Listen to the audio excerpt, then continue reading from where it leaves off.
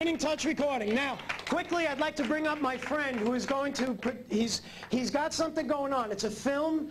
It's put out by, uh, it's now out being uh, distributed by Lionsgate Films. It's a film called Knock Knock. And if you get a DVD on the street, that's a knockoff. It's a little bit different.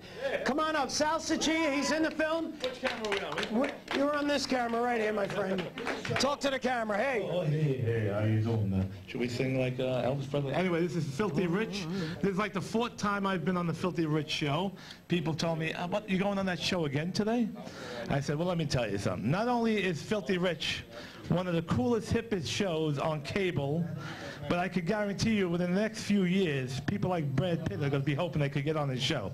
You hear me? I mean, and also we have, I met my friends here on MySpace. I didn't know I knew all these wonderful people, Bambi and Foxy. Oh, okay. But Knock Knock came out last week, April 29th, and it's in Blockbuster everywhere. Uh, it's on Lionsgate, or, you know,